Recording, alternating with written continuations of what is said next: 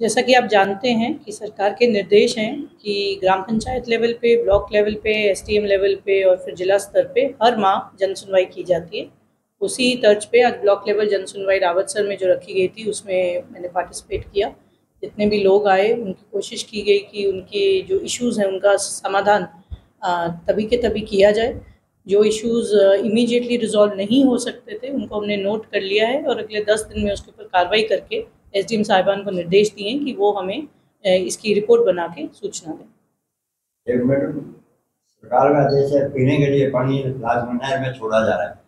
में ट्यूबवेल का पानी छोड़ा जा रहा है जिसमें पैरों में फ़ोटो में दर्द बीमारी और में एक पीलिया की वजह से डेथ भी होगी पानी इतना गंदा आ रहा है। जहाँ भी पानी गंदे की अगर समस्या है तो आज भी मुझे एक केस मिला था उसके अंदर हमने हमारे पास किट्स होती हैं जो साइंटिफिक तरीके से जाँच करती हैं कि पानी की क्या स्थिति है। उसी तरीके से आप अपनी जगह का नाम बता दीजिए। आज के आज हम वहाँ पे उस पानी की जाँच करा लेंगे और ये रिपोर्ट आपको दे देंगे कि वो पीने लायक है या नहीं।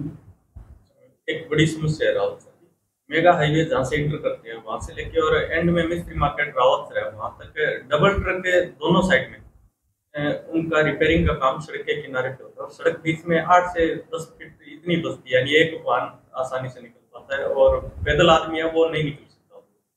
तो अतिक्रमण कि शिकायत के बगैर प्रशासन क्यों नहीं जानते? जो एक मुहिम हमने चलाई भी है कि जितने भी अस्थायी प्रकार के अतिक्रमण हैं, उनको हटाया जाए।